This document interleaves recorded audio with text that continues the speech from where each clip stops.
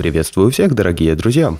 Сегодня в ролике давайте посмотрим на свежую утечку о RTX 3080 Ti, оценим патент AMD о аналоге DLSS и узнаем, как TSMC смогла приблизиться к одному нанометру.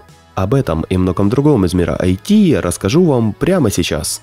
И с вашего позволения я начну с зеленого лагеря, где появилась новая информация о картах Light Hash Rate. Напомню, что на этой неделе Nvidia заявила о обновлении всех своих карт, что сделает их менее эффективными на эфире. Однако сама Nvidia не собирается обновлять свои собственные видеокарты. Представитель зеленых сказал, что Founders Edition – это графические карты ограниченного выпуска, и на данный момент у нас нет планов выпускать версии с Light Hash Rate. Выходит, что обновление графических чипов затронуло только видеокарты от партнеров Nvidia. А в базе данных корейского агентства появились заявки на регистрацию RTX 3080 Ti от Polit и LeadTech – Опубликованная информация подтверждает, что в основе 3080 Ti будут использоваться точно такие же печатные платы, как и в 3080. Кроме того, эти заявки в очередной раз подтвердили объем памяти у будущей видеокарты. По мнению портала Videocards, модели RTX 3080 Ti от Polit и Litec внешне мало чем будут отличаться от моделей 3080. Напомню, что анонс 3080 Ti ожидается 31 мая, а выход в первой половине июня. Тем временем в сеть просочились планы AMD по выпуску мобильных процессоров. Согласно родмапу, в следующем году команда Liza переведет гибридные чипы на 6-нанометровый техпроцесс и микроархитектуру Zen 3+. Но в ассортименте красных найдется место и для 7, и для 14-нанометровых продуктов. В этом году AMD уже выполнила программу по выпуску мобильных процессоров. Если верить инсайдерам, чипмейкер отказался от релиза APU Van Gogh, решив сразу вывести их рефреш в лице Dragon Crest – Обе линейки сочетают ядра Zen 2 и графический блок Navi. На смену мобильным Ryzen 5000 AMD вновь предусмотрела три отдельных семейства APU. Rembrandt H для игровых лэптопов, Rembrandt U для тонких ноутбуков и рефреш актуальных процессоров Cezanne U. Впрочем, наибольший интерес представляют именно гибридные процессоры Rembrandt. Они сочетают ядра Zen 3 Plus с графикой Navi и будут выпускаться по 6 нанометрам. А для лэптопов начального уровня AMD предложит связку из первого Zen и Vega. Они выпускаются по 14-нанометровой технологии и примечательны невысоким теплопакетом. Компания же Intel планирует раскрыть новые подробности о Core 12 поколения на конференции Hot Chips 33 во второй половине августа. Мероприятие начнется с доклада Intel об архитектуре Alder Lake, и затем AMD расскажет о ядре Zen 3. Сразу после этого синий чипмейкер поведает о будущих процессорах Xeon семейства Sapphire Rapids – Стоит отметить, что на конференции Hot Chips полупроводниковые гиганты обычно рассказывают о технических особенностях новых продуктов. Так что нас однозначно ждет много интересных подробностей о будущих процессорах Intel. Также сама Intel фактически подтвердила, что в составе грядущих процессоров Sapphire Rapids X будут использоваться ядра Golden Cove. Компания выпустила очередной патч для ядра Linux и изменила в нем комментарии о особенностях Xeon Scalable четвертого поколения.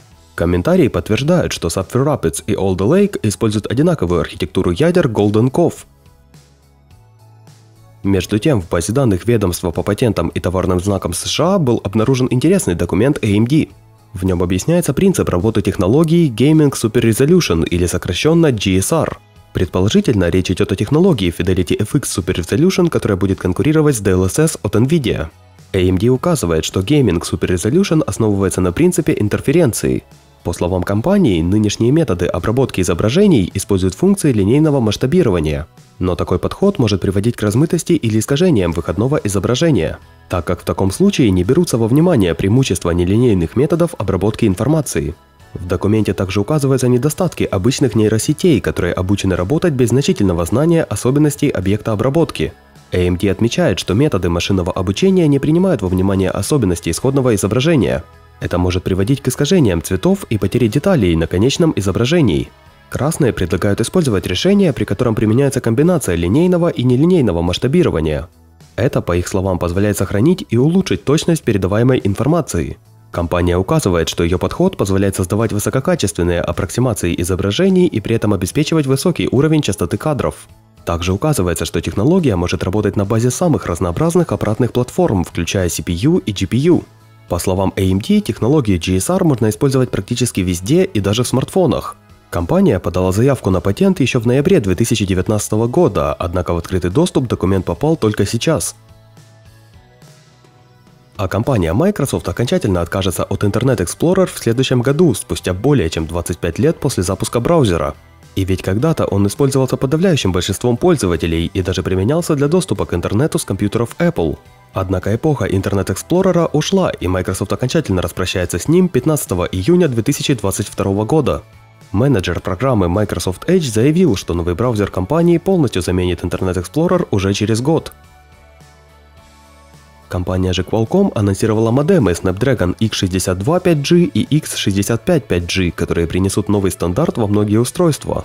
Новинки выполнены в виде модулей M2 и могут устанавливаться в настольные и портативные компьютеры. Оба модема поддерживают сети 5G с автономной и неавтономной архитектурой. Решение способно работать со всеми основными диапазонами, будь то частота ниже 6 ГГц или миллиметровые волны, Модем X62 5G обеспечивает пиковую скорость передачи информации на уровне 4,6 гигабита в секунду. У версии же X65 5G этот показатель достигает 10 гигабит в секунду. Оба изделия уже доступны заказчикам, и в скором времени на рынке появятся продукты на их основе. Между тем, исследователи из компании TSMC представили работу о транзисторах из так называемых 2D-материалов, которые могут прийти на смену кремниевой электронике. В совместном исследовании с коллегами из США и Национального университета Тайваня специалисты нашли новое сочетание материалов.